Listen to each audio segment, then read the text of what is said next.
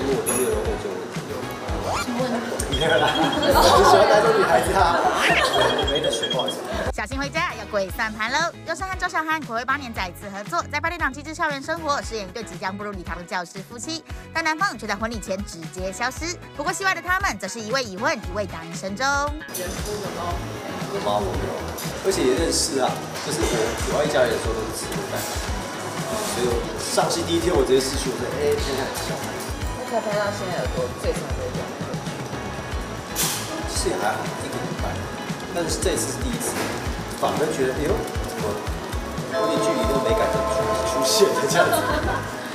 我们说比较感感情超好，每天都在说我爱你我爱你这样，就是有一种很漂亮的距离，但不知道是才刚开始。也许久了就开始怨恨，怎么怎么坏？最近小孩发烧，你知道吗？好可能已经画完了，然后小朋友也是黄肯，这个词好好笑。对啊，第一次听到这词。真的吗？就他一定要我陪他睡，一定要爸爸睡我才睡。被拍到不是男朋友，身边蛮多跟我不错的男生。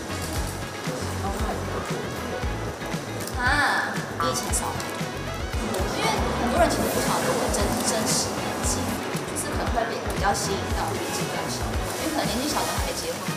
目前为止有遇过最最小的几岁？啊，那个女生，一轮是有点太几岁以内可以接受？七八岁以内。这个都没有更新度。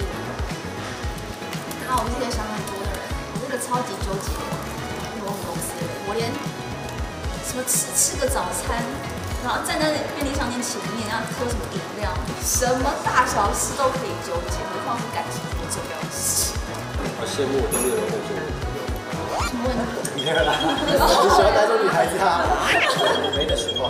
肌肉男，不行，艺术男，才华。因为一题一个个问是不是？理想型家长会被点觉得外表就不是第一要素嘛，因为你演艺圈只是看很多帅哥，对，他总是对。我觉得那是缘分。配着这种对。不会很困扰。对啊。没有啊，还好，因为其实我我家人。完全不会催我这件事情。有时候一些一些其他远方的长辈会会问这一题，我就说哎呀都几岁了，还不结婚，看起来年轻就好。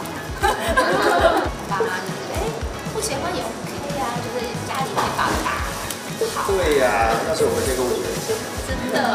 永远不要讲最好，因为他上国小就整个已经往朋友那里去，就会有那种失落感。因为那天是小一第一天的放学，我想说，好多的时间晚接他放学，那应该看到我很开心，因为我们三天没回家了。人家爸爸出来冷漠了，看到我，哦，爸爸转过去问妈妈，妈妈我可以去同学家玩吗？然后妈妈说啊，我们下午一起要跟你安排什么？不要，我要去同学家玩。对，从那天我就很失落，跟我老婆说，天哪，那我就开始一下狂狂啃地。